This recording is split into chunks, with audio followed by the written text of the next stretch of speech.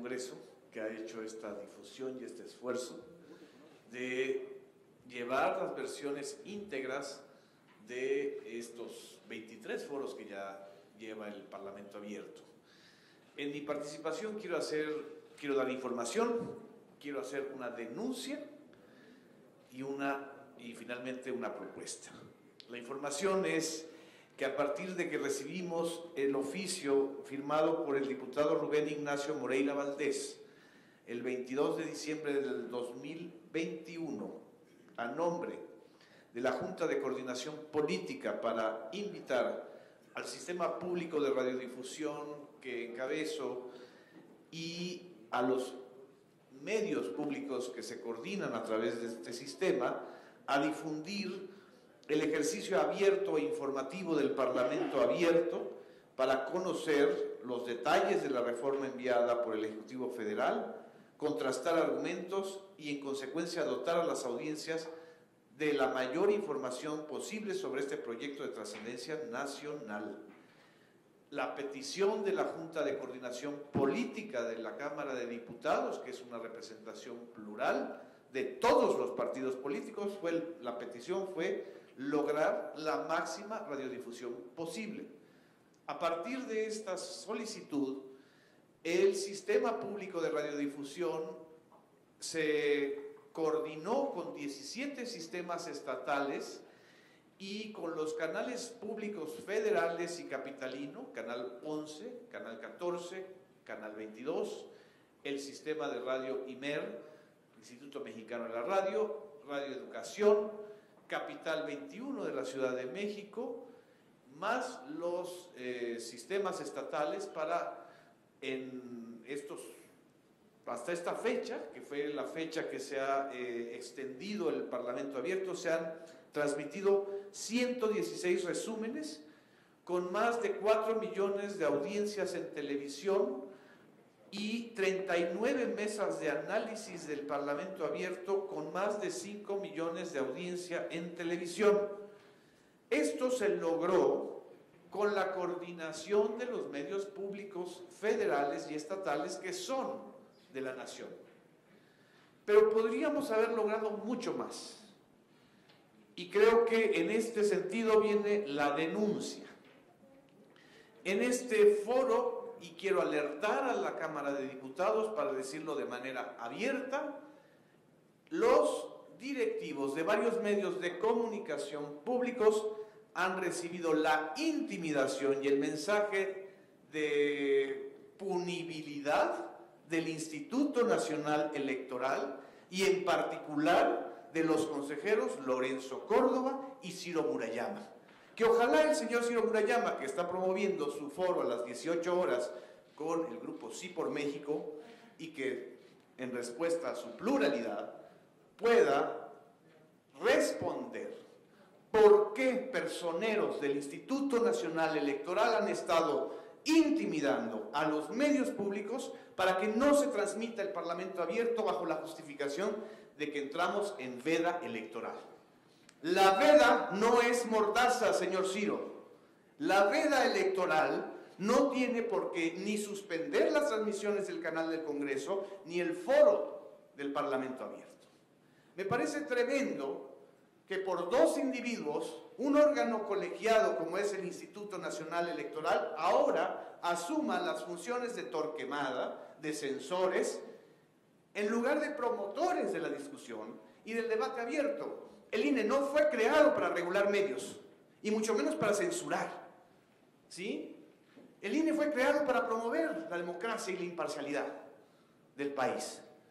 Y creo que en este momento es muy importante observar cómo incluso en un debate nacional tan importante como la reforma eléctrica, utilizan dos, dos consejeros del INE todos los instrumentos de un órgano del Estado mexicano para estar intimidando a otros órganos del Estado mexicano o a otros poderes de la Unión.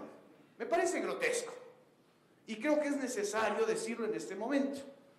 Porque no solamente se están extralimitando, sino que están desacreditando una institución que le ha costado a todos los mexicanos construirla. Y a todos los mexicanos les, nos ha costado tener que enfrentar las campañas de descrédito de ciertos grupos de poder contra los medios públicos y en especial contra la transmisión de las mañaneras. ¿Sí? Y nada más para recordarle al señor Ciro Murayama y a algunos personeros, digamos que los diablitos, porque hay un, hay un diablo mayor, hay un diablo mayor que se roba la electricidad de este país y que anda con dos X en su nombre, Ox. Pero hay diablitos. Entre esos diablitos, pues están estos diablitos, ¿no? Que están usando una institución autónoma para querer intimidar a periodistas, a conductores, a medios públicos. A la jefa de gobierno se le anda revisando sus tweets, por favor. Si el señor Ciro Murayama no tiene trabajo, pues puede pedirle alguna chamba a los verificadores de Twitter o de Facebook o de YouTube o de TikTok. ¿No? A lo mejor su vocación es TikTokera. Pero no en este momento quieran usar al instrumento y al órgano autónomo del Estado mexicano para querer censurar un debate como este. Y creo que es una sugerencia muy personal a nombre del sistema público del Estado mexicano, creo que un extrañamiento por parte de la Junta de Coordinación Política del Congreso a estos intentos, por supuesto, nunca explícitos, nunca abiertos, pero sí señalados a mi persona y al equipo del sistema público de radiodifusión por varios directivos de medios públicos. Un extrañamiento a las autoridades electorales y, un, y subrayarles que la difusión del Parlamento abierto en los medios de televisión, de radio y de Internet, tanto públicos como privados, no es ninguna violación a la veda electoral. Gracias. Y ya la parte de la propuesta, creo que también dentro del debate de la reforma eléctrica y en esta parte, pues sí, ahí hablo como alguien que le gusta mucho el tema de la convergencia digital y de la convergencia entre radiodifusión y telecomunicaciones para el futuro del país, ya no solamente sobre la electricidad, aunque no lo contemple de manera explícita la reforma constitucional enviada por el Poder Ejecutivo, sí es muy importante tener en cuenta el fortalecimiento de la Comisión Federal de Electricidad y en específico de la Comisión Federal de Telecomunicación e Internet para Todos. Esta, esta instancia dentro de la CFE es la famosa instancia que administra las fibras oscuras o las fibras oscuras de la fibra óptica de la CFE. Nada más para refrescarnos la memoria. Lo importante que es defender estas dos fibras oscuras como un bien público del país fue lo que llevó al ataque brutal del calderonismo contra el, contra Sindicato Mexicano de Electricistas, de la, de la compañía de Luz y Fuerza. Y ahí estaba el señor Javier Lozano. Le mandamos saludos a este compañero convertido en troll. Eh, pero él, como secretario, como integrante del gabinete del gobierno de Felipe Calderón, encabezó esa campaña terrible, violenta, además, con, pues todo el estilo calderonista, digamos, para, para definir toda una serie de prácticas y conceptos. Hostil contra el, eh, contra, contra el SMEI y contra la compañía de Luz y Fuerza. Pues lo que estaba detrás era esto justamente, la posibilidad de querer privatizar estas eh, fibras y esta tecnología de la CFE. En noviembre del 2021, el actual representante de la empresa CFE Telecomunicaciones e Internet para Todos, David Pantoja Meléndez, propuso la ampliación e inclusión del proyecto de inversión Iluminación Fibra Óptica Oscura mediante tecnología DWDM-LH.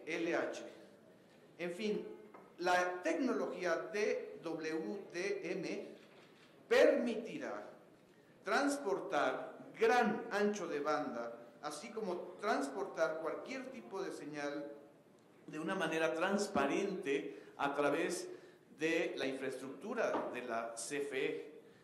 Y nada más para tener una idea de lo importante de esta tecnología que permite multiplexar y, e incluir varios, varias señales en un mismo canal de fibra óptica, la velocidad a la cual, a la cual actualmente se está dando el servicio de Internet en fibra óptica eh, permite transportar 16 canales, 16 canales de fibra óptica a una velocidad de 80 a 100 kilómetros. Esta nueva tecnología permitirá transportar hasta 128 canales, incluyendo todo lo que implique señal de televisión, de radio, de internet, de servicios de telefonía a través de la fibra óptica. Entonces imaginemos los intereses económicos que pueden ser afectados si se fortalece esta tecnología que es un bien público. Creo que es importante defenderla, tomarla en cuenta y apoyar este proyecto de ampliación de la infraestructura de la red de la Comisión Federal de, Electricidad y en este debate eléctrico también está lo mediático y por supuesto está el derecho a la información. Y en este sentido, fortalecer la fibra óptica de la CFE permitirá diversificar la comunicación, darle acceso a millones de mexicanos que no tienen acceso a Internet de servicio de banda ancha y en un costo muy menor y mucho más rápido al que se está dando actualmente. Muchas gracias.